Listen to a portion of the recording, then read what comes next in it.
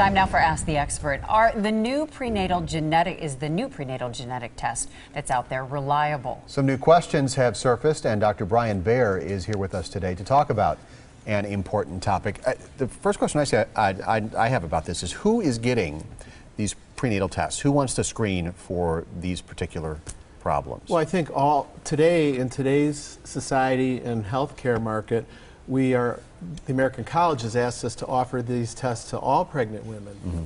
So how have things changed when you talk about prenatal testing? Well, traditionally we've done a single test for trisomy 21 or Down syndrome, and this was done with either a blood test and or an ultrasound. And then, of course, some brilliant people came along and they decided that they were going to isolate baby's DNA out of a maternal blood. And they were able to do that not only for trisomy 21, but also the two other most common trisomies, 18 and 13, uh, which it's actually more accurate for those two than even the trisomy 21. Explain this uh, this newer, better accuracy that you can get with this test. Well, it's called cell-free DNA, and it's actually we talk about false positives.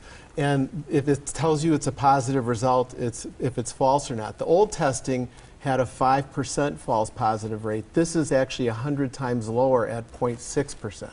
And it only tests for certain things. It's not everything across the board. No, it's, it tests for the most common abnormalities like trisomy 21, trisomy 18, and trisomy 13. So are there problems with this testing as far as it being reliable or not? It's been in the news. Well, it, it, it came to the national news, and that's why I wanted to talk about it, because it was a woman who was falsely positively diagnosed with trisomy 18 or Edwards syndrome. Mm -hmm. And she immediately had a knee-jerk response to schedule a termination and then did what she should have done, which was to call her doctor and say, should I get definitive testing where we find out for real if the baby has this, the disease or the chromosome abnormality. And then once she went for the testing, she found out it was in that 0.6% false positive rate, and she was greatly relieved.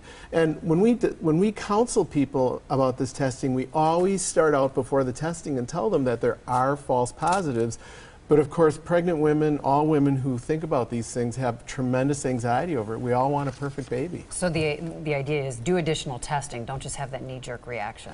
Right. And, and you should expect if it comes back that it's a positive result, you should always expect that your doctor is going to tell you, let's definitively make sure of this before we do anything. All right, Dr. Brian Bair, thanks for coming in and talking about this. Have a question for any of our experts, email asktheexpert at tmj4.com or leave a voicemail at that number right there on your screen.